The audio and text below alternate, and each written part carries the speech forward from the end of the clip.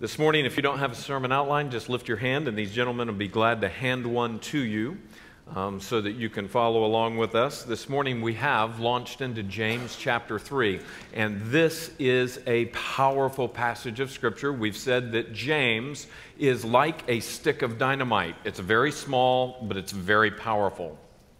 Over the next two or three Sundays, we're going to be looking at this issue of the little muscle that is in your mouth. We won't have a biology lesson or a physiology lesson, but what we will have is a spiritual lesson from God's Word about the issue of our tongue. And there's a couple of surprises, even for us this morning, that have to do with what we mean when we speak of the tongue. I believe that you might, as you begin to think through the issue, go, oh, yeah, that's right. That's what this is talking about. Pastor James is concerned about real faith. Pastor James is writing the first letter that's going to hit the New Testament churches. It sounds like something from the Old Testament. If you read the wisdom literature of the Old Testament, it, it has the same genre feel that there are wise sayings in it. But this is a little bit different because it is woven completely through with the gospel of Christ. So James is bridging the gap between the Old Testament and the New Testament, between the Old Covenant and the New Covenant of the blood of Christ. In James, a half brother of Jesus, is saying, Yes, I too believe in him. I too am following him and he is challenging the church to be real in who they are. So, this is really beginning this morning a series within a series. The main series that we're in is the book of James. The small series that we're coming to is once again, like we studied partiality, like we studied the issue of works based uh, evidence of our salvation, not works based salvation, but works based evidence of our salvation. Here we come to the issue of the tongue. We could call it the test of the tongue. We could also call it taming the tongue. How in the world do you tame the tongue? I know that some of you have nearly bit your tongue clean off at times in your life. Sometimes just by eating food, or sometimes it's when you realize that you said something you shouldn't have said. And so this morning we want to look at this issue and take a nice, good dive into it. Let's remember, for those of you that are new with us this morning, we've been studying the test that James gives to the early church. He's written this letter. He's concerned that there's many people that are showing up to the little local Jewish synagogues all over the Mediterranean world and off to the east.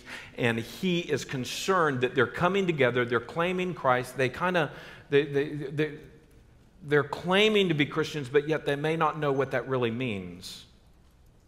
And I know that in this room this morning that there are some who've come maybe for the first time. Um, almost every Sunday we have somebody who either has not grown up in church or somebody who has maybe even never been to a Protestant church before. And if that is the case for you this morning, we welcome you. You're in the right place.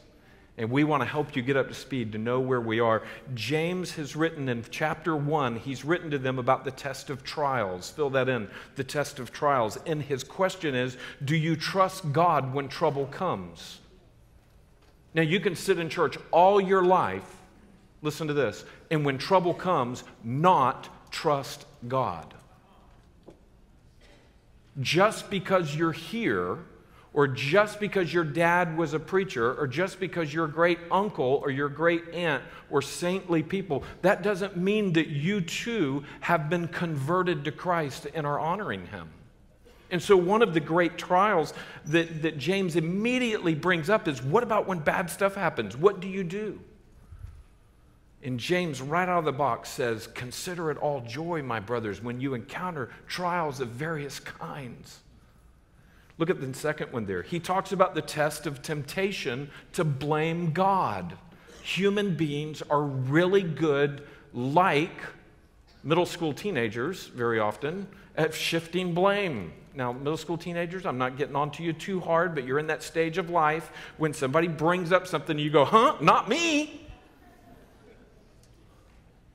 I mean, I just remember um, in our house growing up, dad would just say words that were not allowed at home were, I know.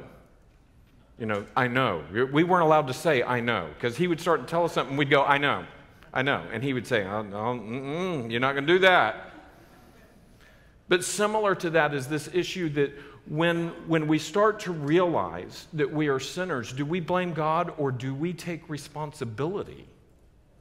Before Him for our sin. That's, that is necessary for repentance, that is necessary for turning to God.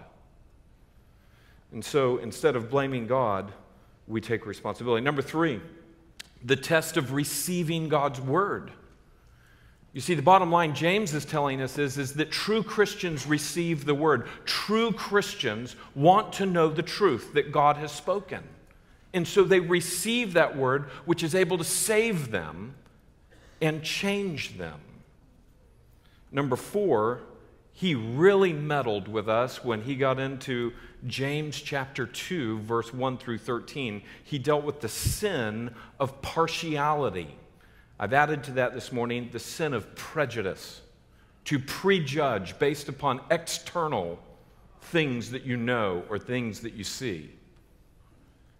And it's not just about color of skin, though that that is very much a problem throughout the world, but it can also be preferences about a myriad of other things, from ideological persuasions to um, issues of education or status, or as James points out, wealth. A rich man comes in and you give him a favored seat. A poor man comes in and you say, sit off to the side. He's saying you're, you're being very ungodly when you do that. And if you do that, how can you know God? If when you look at people, when you see the stereotypes and you, you immediately draw the lines of like or dislike, respect or disrespect, honor or rejection, you're not being like God. And so James meddles with us on that. He says, do you see people as God does or as man does? There's the question. Number five, the test of your actions. How do you actually behave? You can put that down below that. How do you behave? You know, the, the issue of works. Um, is your faith verified by corresponding or commensurate good works? Or do you just say one thing but live another?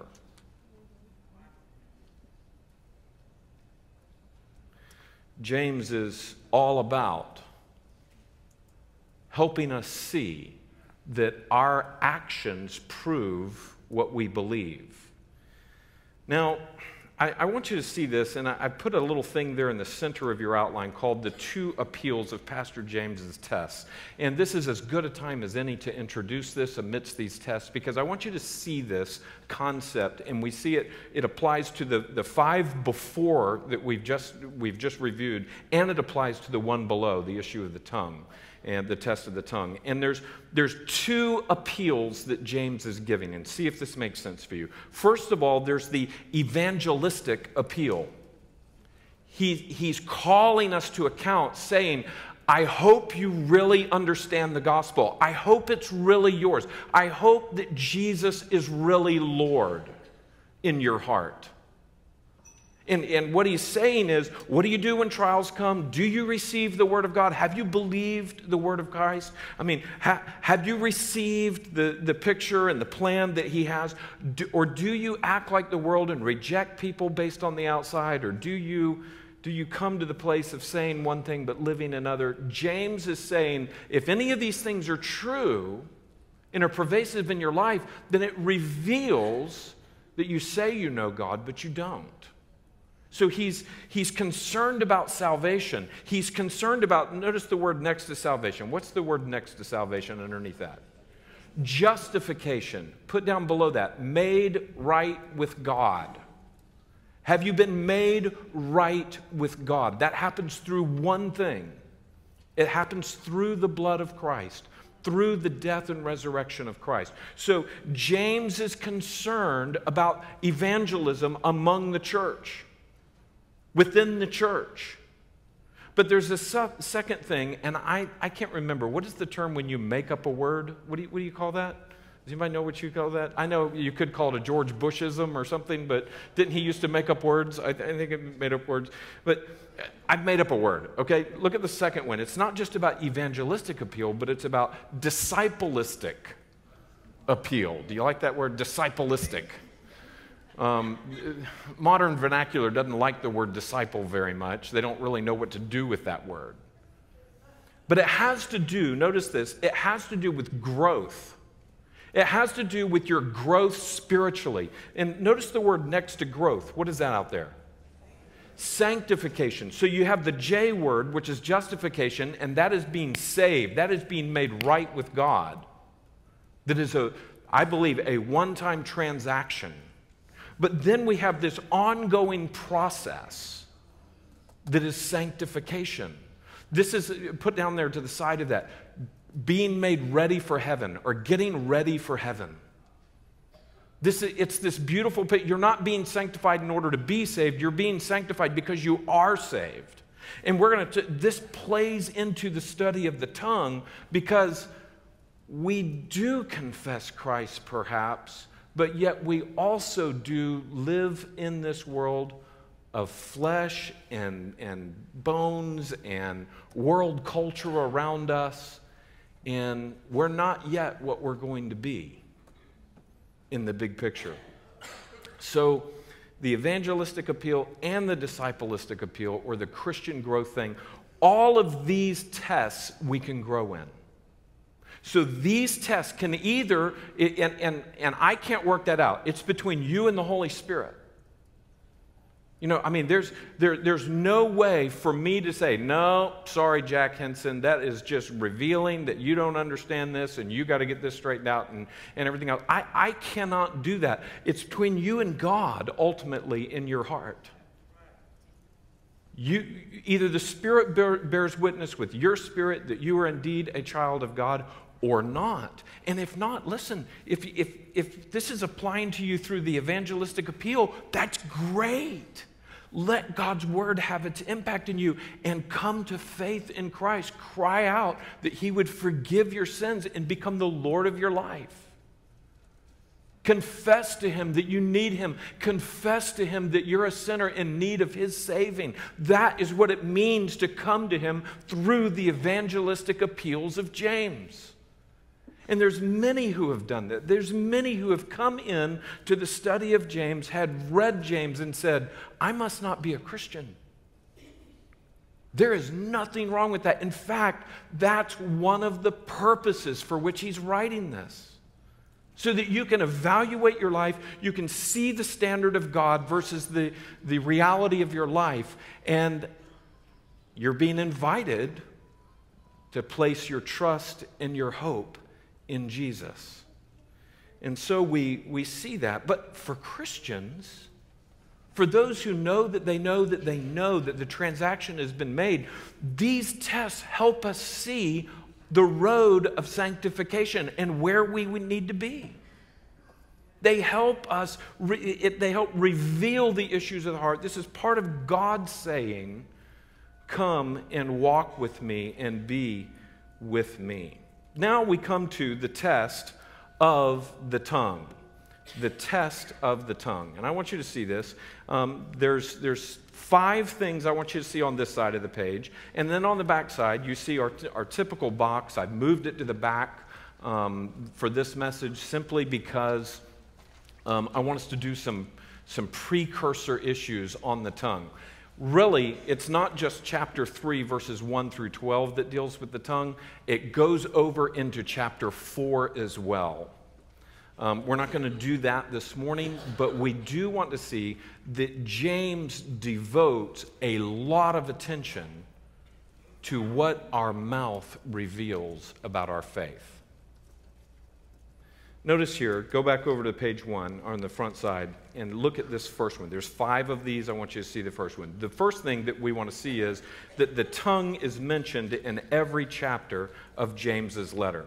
The tongue is mentioned in every chapter. And I've, I've put the references just below that. Look at chapter one. What does it say? What verse? 19 and verse 26. I want you to see these. James mentions it in James chapter 1 and verse 19, and it's on the screen in front of you. Look what he says. We already studied this a few months ago. Verse 19 says, Know this, my beloved brothers, let every person be quick to hear. What does it say there? Slow to speak and slow to anger. Let every person be quick to hear, slow to speak, and slow to anger. So he's, he's already dealing with the tongue back in chapter 1. Look at the verse 26.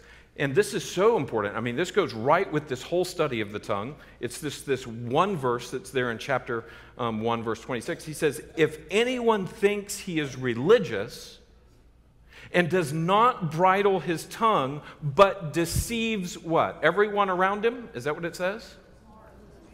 Deceives his own heart. This person's religi- religion is what? Is worthless. So you see, James, you remember with me, Pastor James packs a punch. I mean, he does not hold anything back. He doesn't use flowery language. He is very, very direct. It's very different than the writings of Paul, very different from the writings of John. James is far more in the mode of an Old Testament scholar, an Old Testament pastor, an Old Testament rabbi, but this beautiful picture of the standard of God mixed with the grace of God, and he's calling us to be real about it. Look at James chapter 2. You see, you see this one in James chapter 2, verse 12. He says, So speak and so act as those who are to be judged under the law of liberty. He's saying, don't just speak and, ju- and, and do whatever you want to do. He's saying, speak and act as if you have been saved, that you're under the glorious, fulfilled law of Christ. In James chapter 3, which is where we are now, there's, there's three of these verses that specifically um, mention the tongue. He says, So also the tongue is a small member, but yet it boasts of great things. Verse 6 the tongue is a fire, a world of unrighteousness. We're going to see what that means. Verse 8, he says, But no human being can tame the tongue. No human being can tame the tongue. And we're going to see what is the, not this week, but next week, we're going to see what is the answer to taming the tongue. What is James going to get out here? So make sure that your husband or your wife is here next Sunday, right? You, you want to make sure they get that. How do, how do we tame her tongue? How do we tame his tongue? Um, make sure that we're all here. James chapter 4 and verse 11 says, Do not speak evil against another brother or against one another. The one who speaks against a brother or judges his brother speaks evil against the law and the judges of the law. So in James 4, we're going to see how this plays into the church life. In James 5, he says, But above all, my brothers, do not swear either by heaven or by earth or by any oath, but let your yes be yes and your no be no, so that you may not fall under condemnation. We make many promises, we make many statements, we, we very often project who we are or what we're going to do. And what James is saying, make sure that what you say with your mouth is really representative of your heart in your life. So, um, that's the first one there, is that the tongue is mentioned in every, every chapter of the book of James. This is a concept that is woven throughout this beautiful book that we're studying. Number two, the tongue refers to, and this is so important, it refers to our words. The tongue refers to our words. He's not talking about the physiological, biological little muscle that you have in your mouth. Um, I did some study on the tongue. You don't want me to show you all of the studies of the pictures and everything else that I was looking at. You know, diseases of the tongue are just, they're, they're terrible. They're got, you go, ooh, ah, you know, and there's, there's all these things that you, you look at. I mean, it's pretty grotesque. Um, but if we were to look in the human heart, then we would see something far more grotesque. Because you see, a sick tongue reveals our real heart. And so, a tongue that's not, I mean, you know, when you used to go to the doctor, uh, or when you go to the doctor, you sit down and the physical begins. You know, you're sitting there in the little bed sheet or whatever it is, and the doctor comes in and he says, and what's one of the first things he says? Stick out your tongue. He wants to look at your tongue. He can tell about some th- quite a few things about your health based upon your tongue. And I, I could ask Dr. Um, Ferris, Hannah, or, or, some of the other doctors that we have this morning, come up and tell us all about what you can tell from a tongue. You know, if the tongue's the wrong color, it can, it can indicate vitamin deficiencies or mineral deficiencies. Um, if, there's, if there's swelling, if, there's, if it's too smooth. It, I mean, there, there's, there's a whole bunch, a range of things that they can tell just from looking at the tongue. We know the same thing is true spiritually. You see, our tongue actually represents our words and our thoughts, our intentions. That's what the tongue does. In fact, what is our word? What is a word? And this, this is important because in this day and time, this is very confused in the modern philosophy of our age. Look at under number two, where it says the definition of word a unit of language consisting of one or more spoken sounds or their rep- written representation. So it's either phonetic sounds that are made or it's something on a, on a page.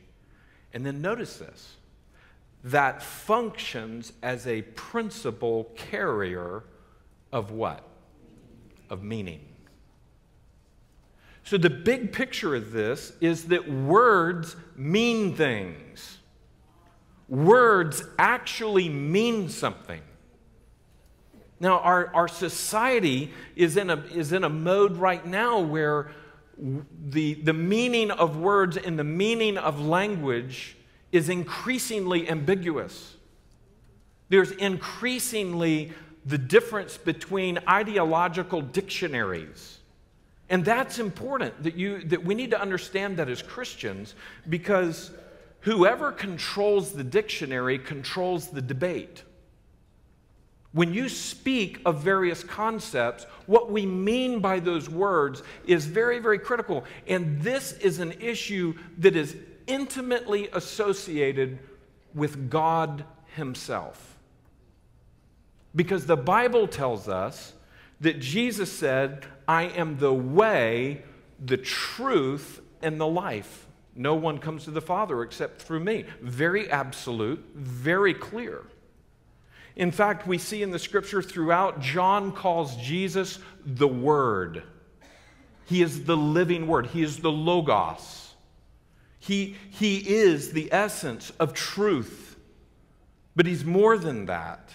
He is a creator God that rules and reigns, and He does so through beauty of His holiness and through logic and through the issue of of thoughts, and we have been made in his image where we can process, listen, we can process linguistic concepts and sounds and, and writings that are made into concepts that, that actually communicate meaning. They mean something.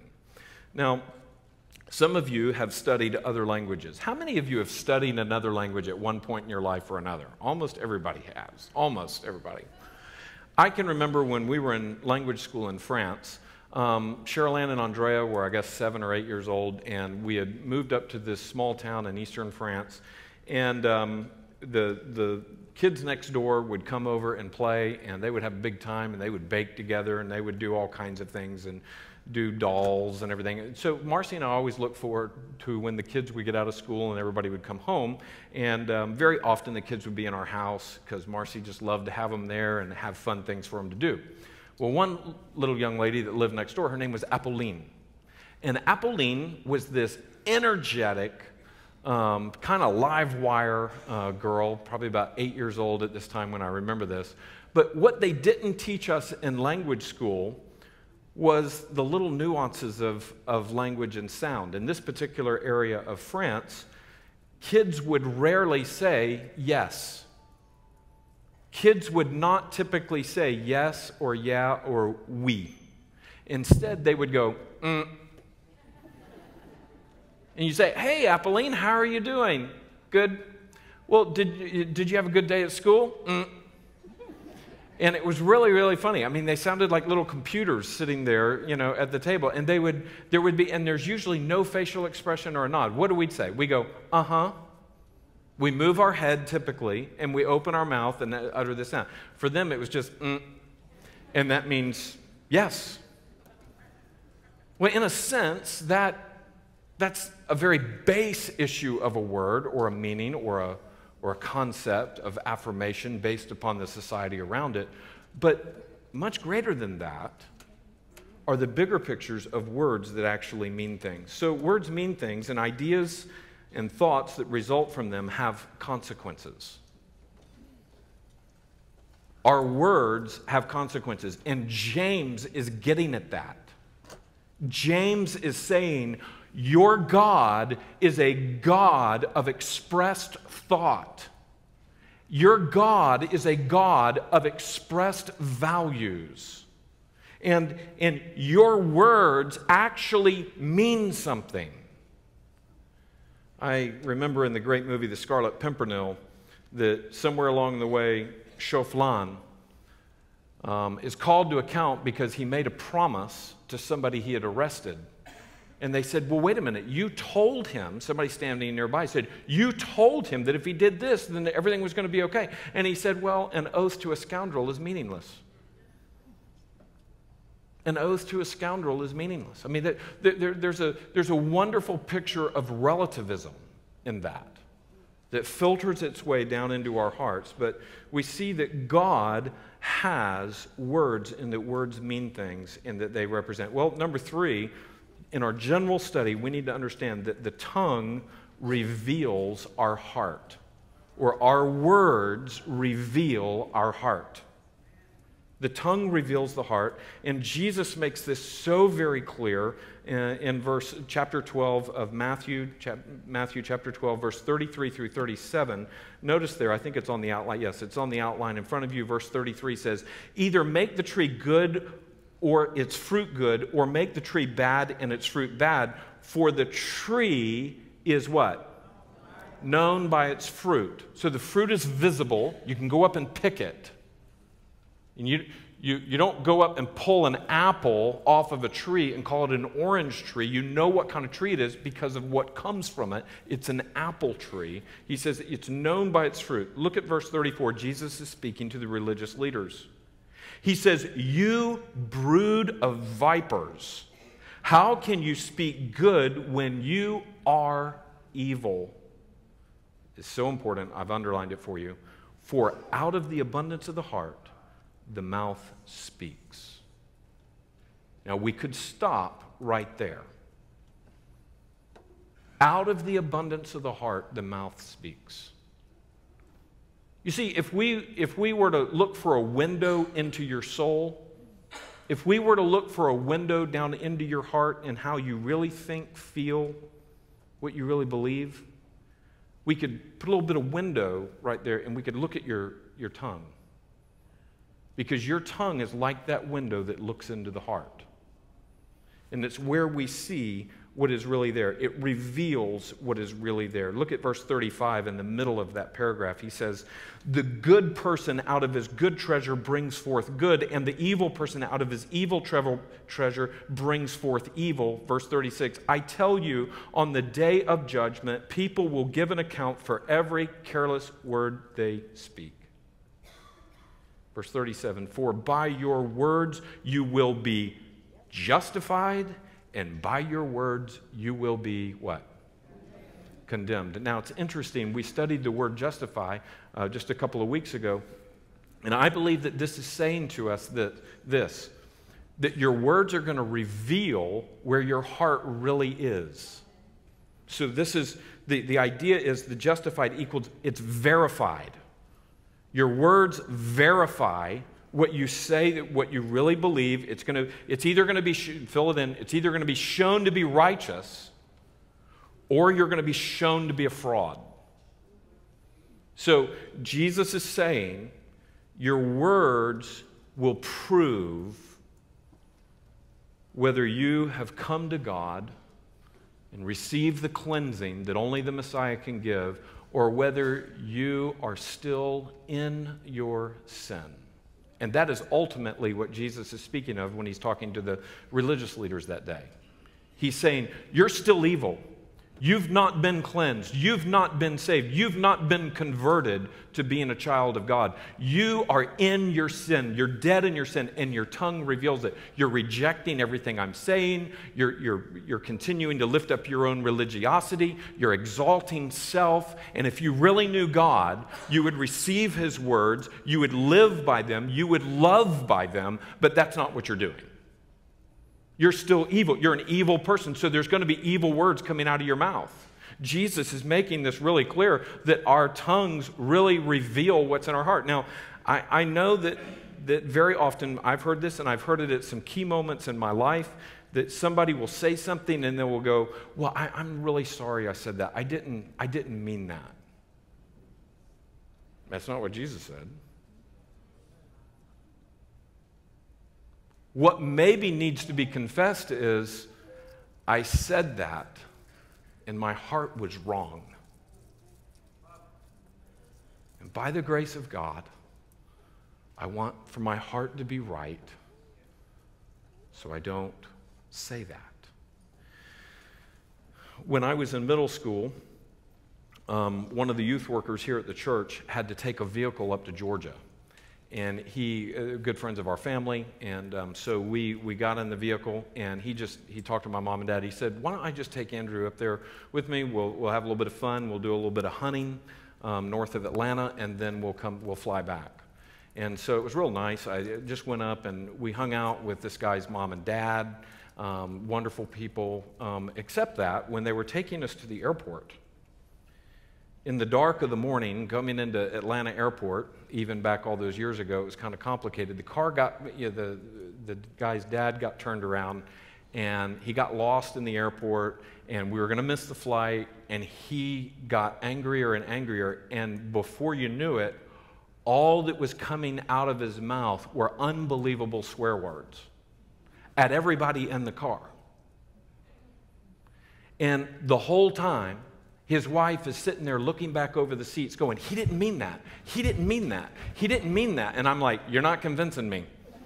He, he looks pretty angry to me.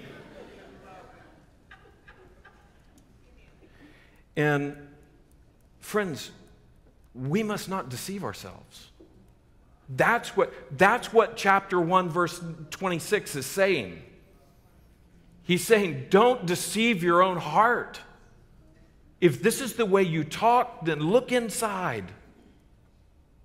And for Christians, if this is, if this is what you're struggling with, then listen. Come to God and be allowing Him to renew your heart and your mind so that He can deal with it. And we're going to talk about that more over the next two weeks. But the issue here is, is that the tongue reveals our heart. Number four, the tongue is the vehicle of many sins. The tongue is the vehicle of many sins, or you could put under there much sinfulness, the sinfulness of our hearts, the sinfulness of the flesh. The tongue just brings it out, lets it out, displays it. I, am reminded of the second sin. The second sin in all of humanity was a sin of the tongue. The first sin was what? Consuming the fruit. Think about this. The second sin is that when God comes to Adam and Eve in the garden and they've hidden themselves and he calls them out, they come out and they start talking and he said, Why did you hide yourself? And they say, Because we were naked. And then look at the screen. In verse 11, he said, And who told you that you were naked? Have you eaten of the tree of which I commanded you not to eat? Look at verse 12 up on the screen. The man said, The woman you gave to be with me, she gave me the tree, gave me from the tree, and I ate. Now, look at what humans do blaming it on God.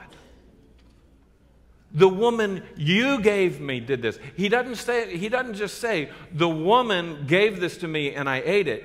No, Adam commits perhaps a, a greater sin than Eve in that picture of initiating that. He blames it on a holy God. And so the, the tongue is the vehicle of many sins. We see it from the start. Look at Matthew chapter 15. Matthew chapter 15 and verse 19. I want you to see, or really, I'm going 18 to 19, and this is only on the screen in front of you. Verse 18 says, But what comes out of the mouth proceeds from where? Are y'all looking at that? Let's read it out loud together. Look at, look at verse 18. Read, out, read verse 18 on the screen out loud. But what comes out of the mouth proceeds from the heart, and this defiles a person. Look at verse 19. For out of the heart come evil thoughts, murder, adultery, sexual immorality, theft, false witness, slander. What all does our tongue do? Notice on the outline below that, Matthew chapter 15, verse 19, it's not an italicized, it's just a list of sins of the tongue, and it kind of keys off of, of what we just read in Matthew. But look at these. Notice this falsehood. Do you see that there? Falsehood. One of the first major sins of the tongue is speaking falsehood. That, what does that mean? That means something that's not true. Our God is true, He is truth. And so, one of the worst things that we can do is run to anything that is not true and speak anything that is not true. And as part of that is heresy. That's religious doctrine that is, that is turned away from truth. It, there's another type of falsehood it's lying it, of, any, of any magnitude. From, we, there's no such thing as a white lie. falsehood, heresy, lying. How about this one? Bragging and boasting. If you go and you read your New Testament, if you read your Old Testament, you will see that bragging and boasting are serious sins. Flattering, berating, it's verbal abuse, cursing. That, and the difference between cursing and mere profanity is this that when you curse something, it's, it's something along the lines of, of setting and, and wishing evil, wishing difficulty, wishing hardship on someone, to be under a what? To be under a curse. When you know you look at the word, I'll never forget my mother going through the words. Um, one day we were in our Volkswagen and we're talking, and I think I said darn, and mom said, Be careful. Darn means damn. Be careful. She said, And what does damn mean? Damn means God damn. What does God damn it? Well, it, it, play it on out. God damn it. That means send it to hell. Be careful when you hear God damn, the picture is that is that is the worst curse that you could wish on someone. If somebody says, God damn you, what they're saying to you is, I want you to go to hell. I can't send you there, but God can. And so I speak my curse to you. Be careful with our words. And there's any myriad of other curses, but there's also profanities. What about crude comments? Crude comments. Oh, what we heard recently locker room talk. What about slandering? I mean, that's, that's really what Adam was doing taking and twisting the truth, turning it back on someone. God, you gave me that woman. What about gossiping? speaking of others when they're not there to defend themselves, similar to backbiting and tattling. What about divisiveness, antagonizing, harsh criticism? Now we're going to really meddle. What about whining, insatiable complaining, grumbling? God's people grumbled when he provided food for them. They grumbled. How many moms said, Well, I know how God felt? She puts it on the table.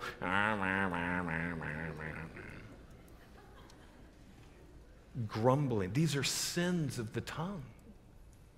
But I mean, there's part of what we see that, that word divisiveness in that second at the end of that second row is, is a key one in the life of the church. And we're going to see that james is talking about that. He's concerned that this isn't just a test for you as individuals but this is a test for the whole church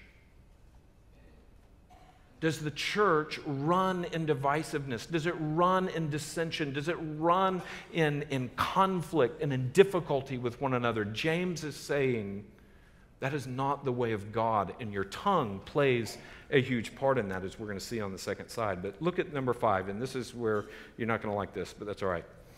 Number five, the tongue equals our fingertips. The tongue equals our fingertips. What do I mean by that? The concept is this it's words. Remember, we said the tongue represents words, right? So it's words expressed. Now, how, how would this be the case back in the day? A parchment and quill, there would be a dried out skin that is there that is able to receive ink. And there would be a, a feather pen or a quill of a, of a some type of bird, and it would hold the ink and allow you to write these words so that they could be communicated, so that they could be stored and then shared, perhaps into a letter that could be copied, like James's letter. He would have handwritten this. This is before the days of typeset. This is before the days of Twitter. This is before the days of all of these things. And so it would be a parchment and quill. It'd be the power, we say, the power of the pen. But as time would go on, it would come to paper and ink and the, the printed word that becomes very powerful. And we know that Martin Luther set the world ablaze as they published the 95 Theses, and then all of the theological intercourse that would go on after that, that would work out the doctrines of true salvation against a corrupt church. And so it was those pages that would set the world on fire, as we will see. But not only that, but as I've mentioned here, it's keyboard and screen as well. That is our parchment and, and quill. So when we are typing, whether we're writing a book or whether we're writing a blog or whether we are writing a, a text or whether we're writing an email, that is an extension of our tongue. Our words are the issue. Now, look at the next page there. And the, the text is there, and we're going to reference it as we go here. I put it on the back because I want you to make some key observations. I want you to be able to see both. You may not want to fold it over just because as we get down toward the bottom, I'm going to be referencing it. You're going to have to flip it back and forth. But look up there. The key observations that, that as we think about what Tommy read and as we read it again, we see some very important observations. The first observation is notice the accountability of the tongue. We are accountable. And that accountability, and look up there in verse 1, notice what it says on the top of your outline there in the box. It says, Not many of you should become what? Teachers, my brothers, for you know that we who teach will be judged with stricter judgment. Um, teachers is the issue here, um, and we're going to see why, but circle the word we. James is a pastor. And he's writing, and when he says we, he's speaking of as a teacher of God's word, as a teacher of God's people. And so he starts, and fill this in, he starts with teachers or elders or pastors. That's where he starts. The accountability begins here. You hear about where the buck stops. Well, that's one thing. Well, where does the buck start? He's saying the buck starts here with us. We better teach the truth Because to stand in front of God's people and to say things that are not what God wants said is a grievous sin. It is a dangerous thing.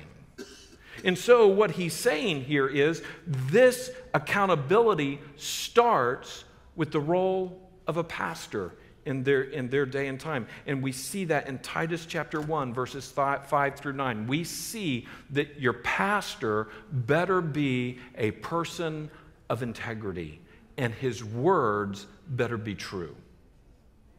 In 1 Timothy chapter 3, we see the same picture, the same picture of accountability, of being accountable to God.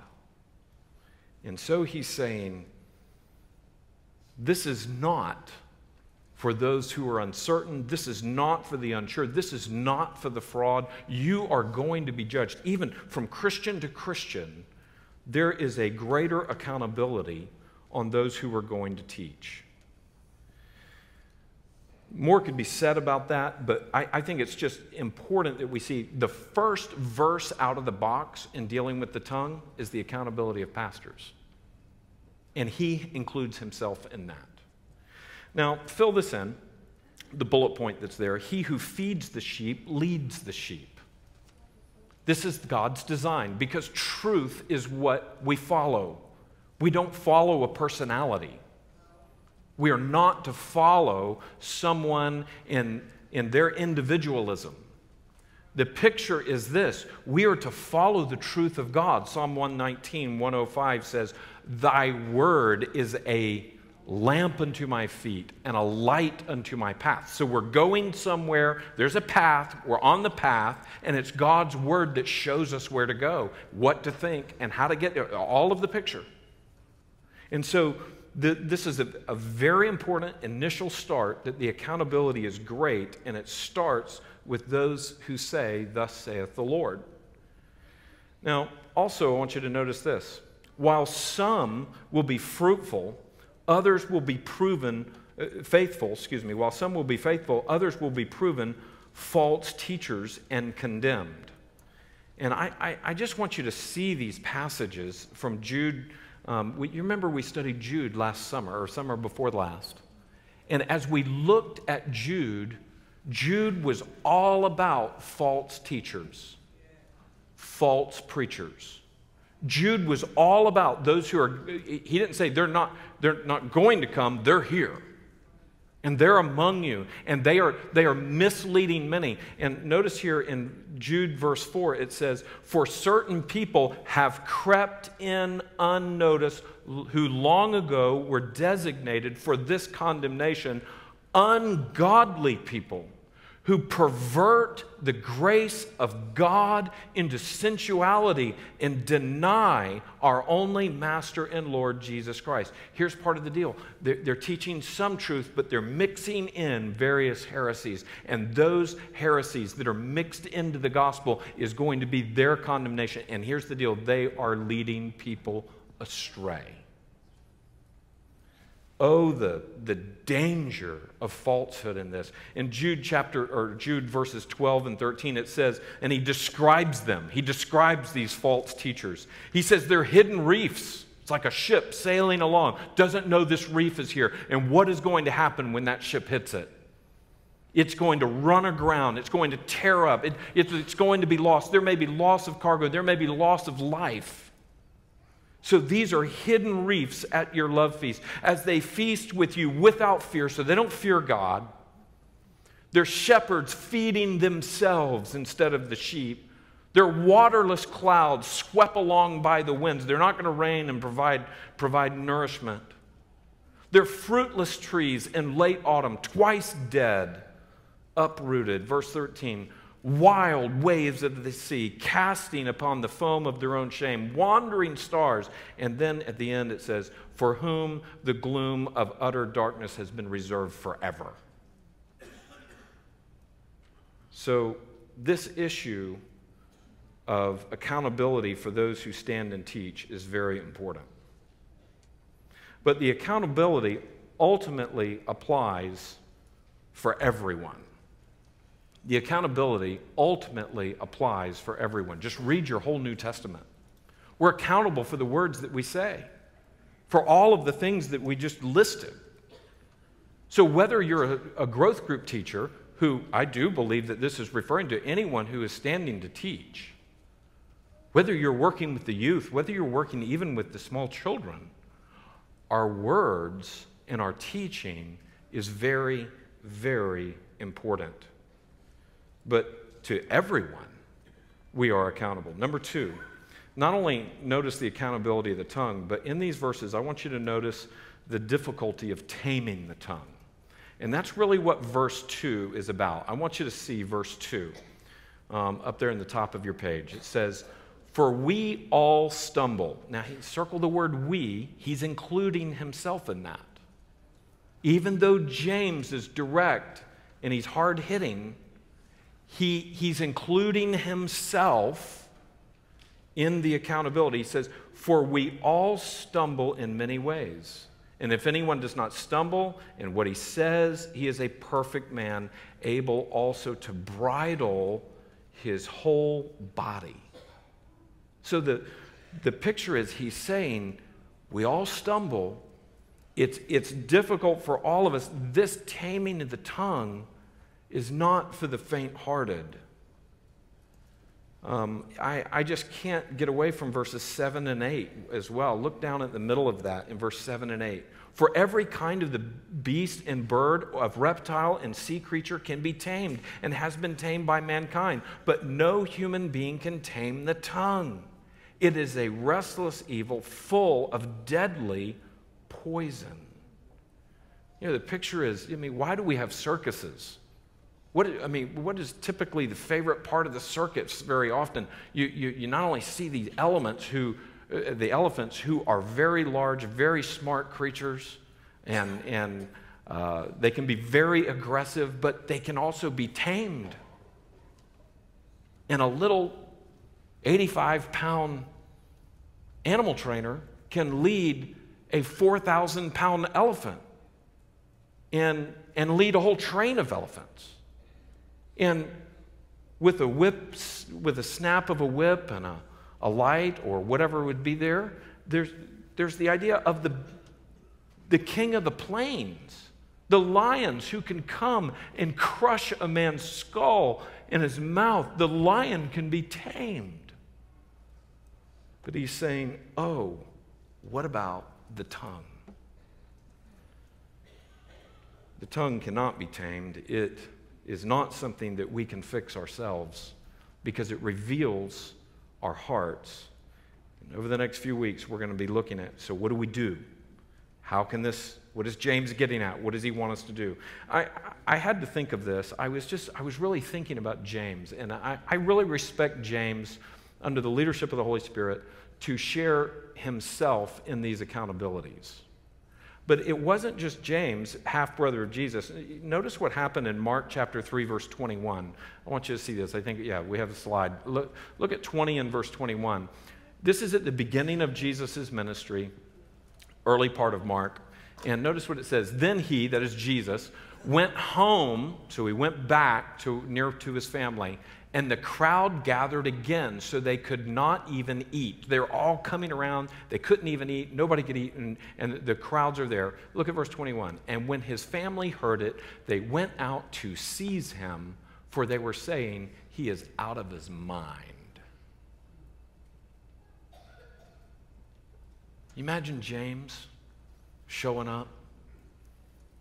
Some of other Jesus' other brothers, maybe sisters, and just saying, Yeah, let us get him, let us take him home. He's out of his mind. This is the brother of the Lord. This is the one who would eventually become the pastor of the church of Jerusalem, who would write what we're reading. But he didn't believe at first. Instead, he called his brother the Son of God. He called his brother out of his mind. And it wasn't just James, it was Paul, who was formerly called Saul Fill that in. Paul in Acts chapter 9, verse 1. Look what it says right there in Acts chapter 9, verse 1. But Saul, still breathing threats and murder against the disciples of the Lord, went to the high priest and asked for letters to the synagogues and at D- Damascus, so that if he found any belonging to the way, that's Christianity, men or women, he might bring them bound to Jerusalem. So here, God is using James, who had formerly said that he must be out of his mind. God is using Paul, who unbelievable things had come out of his mouth. And then Peter. Peter, the open mouth, insert foot disciple. Luke chapter 22. Look at Luke chapter 22. They're at the Lord's Supper.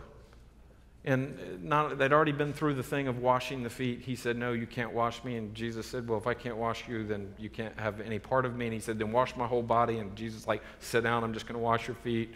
And, and making a point, trying to make a point, Peter, just sit down. You know, I don't, I don't know what all was going on with that dynamic, but I think, I think it is kind of humorous. But, and then we come to Simon, and, and that's Peter.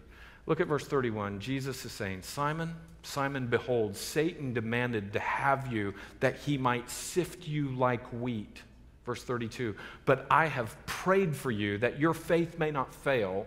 And when you have turned again, strengthen your brothers.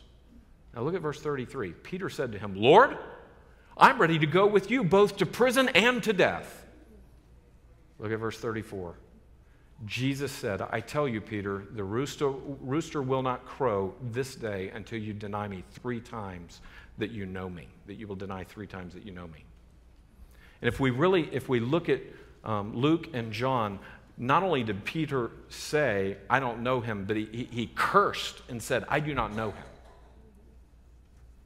And so here's Peter with a tongue that gets himself in trouble, having denied the Lord, but yet would stand and preach at Pentecost, and thousands of people would come to faith. And that for year after year after year, he, along with James and others, would preach the gospel faithfully as they sought to be faithful to God's word. Now, they're not perfect, there's times of correction we see that in their lives. But what is their life characterized by? It's characterized by the gospel. And that's part of the picture of what we see in verse 2, where he says, perfect. Does this mean sinless? And I would say, no, it, it can also mean mature. It can mean sinless, but we know that there's no hope of sinlessness until we get to heaven. But that doesn't give us a license to sin as we please. We see that there is the picture of maturity, and that's part of that sanctification process that we were speaking of. Either way, James is saying that the tongue is an ultimate test of one's faith and one's maturity. Number three, as we get near the end, notice in these verses a disproportionate danger of the tongue. It's a disproportionate danger of the tongue. And this is, this is what he's going to say. Look at verse 3. Look up there the screen, uh, or at the, uh, on the box on the page at verse 3. If we put bits into the mouths of horses so they obey us, we guide their whole bodies as well. Verse 4 Look at the ships. Though they are so large and are driven by strong winds, they are guided by a very small what? Rudder, wherever the will of the pilot directs. So also the tongue is a small member, but yet it boasts of great things. So go back in that. Verse 3, circle the word horse. In verse 4, circle the word ship. And now we come to the middle part of verse 5 that says, How great a forest is set ablaze by such a small circlet fire. So the tongue is compared to these three things. It's small, fill it in, it's small, but it's powerful. It's very small, but it has tremendous power. And he gives three examples. Fill these in horses, ships, and fire. You think about a horse. Think about this big, 1,500 to 2,000 pound animal. Horses are so strong and so usable. One of our main units of energy and measure of power is that we use the word what? Horsepower. How much horsepower is that? And there's this long equation that'll explain to you what horsepower is. But the bottom line is about a 1,500 pound horse can lift about 4,500 pounds over a period of one minute because it is so powerful. Whereas it would take a, a, a weightlifting human being a much longer period of time using other methods of leverage, using a much longer period of time in order to lift the same amount of weight. A horse is, is vastly more powerful than a man. That's why you don't see men out there up in Amish country hooked up to a harness walking through the field pulling the plow. Instead, he is there with the reins of a horse harnessing the power of the horse, telling the horse where to go and what. And it's very interesting that horses are designed to be controlled. This is a bit and bridle. Horses are designed to be, to be controlled by this, this very simple piece of metal right here. It's called the bit. And the bit goes in the horse's mouth, comfortably placed, where it can be there just resting in, in just the right spot. And that bit, when the reins are pulled on and when the reins are, are, are, are pulled, it forces that bit up into the upper part of the horse's mouth. And that pressure hurts a little bit. And that little bit of pain guides that horse to know what you want him to do. And he's learned that he can't just take off and run. He's learned that he can't just do what he wants to do. This is part of taming the horse, this is part of coming and training the horse to sense the actions of the one that's on his back. And that beautiful, powerful animal is able to be harnessed and used in a way that is really appropriate. But it's that little piece of metal that controls that powerful animal. What about ships? I have in front of you a picture of the largest ship in the world. It has been decommissioned and it's no longer um, there, but it's called the Knock Nevis. It is 1,500 feet long. And the Knock Nevis, I mean, it, this is a bit of a comparison. By the way, the, the bottom picture there is the USS Nimitz. So we often think of how massive an aircraft carrier is. Just, just think about that massive ship. But look all the way at the stern of any one of those ships, and there's this tiny little rudder. And that is the picture of the tongue. You have this massive, powerful ship. You have this ship that can go across the world carrying tons and tons and tons, hundreds of tons of cargo. And yet there's this tiny little rudder so that the pilot can make that thing go wherever he wants it to go. Think about the power of fire. From such a small spark, a massive blaze is set. And this is James's picture for us. Here's, here's, here's what I want you to see this morning our tongues are consequential. Words mean things. From the, from the exchange of ideas to the exchange of feelings and emotions and expectations and, and difficulties, our tongues are powerful. And it's not because they are powerful within themselves.